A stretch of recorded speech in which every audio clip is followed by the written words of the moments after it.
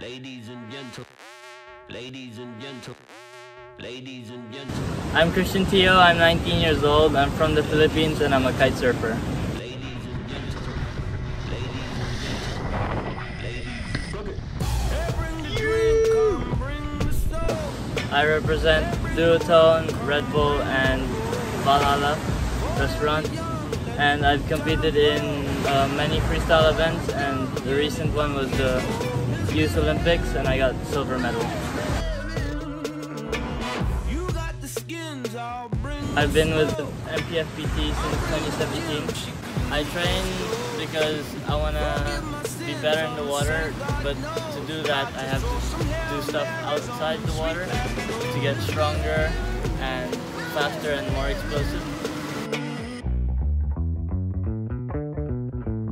I've seen that I have had better breathing, I've been more explosive in the water, and um, much stronger. My landings have improved and lots of my air time.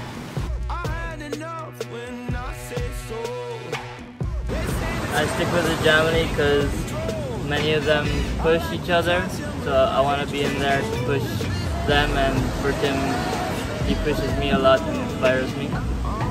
Tim pushes me a lot to be better and he really inspired me to go bigger. It would be a good goal to play Ultimate and I think it would be really fun.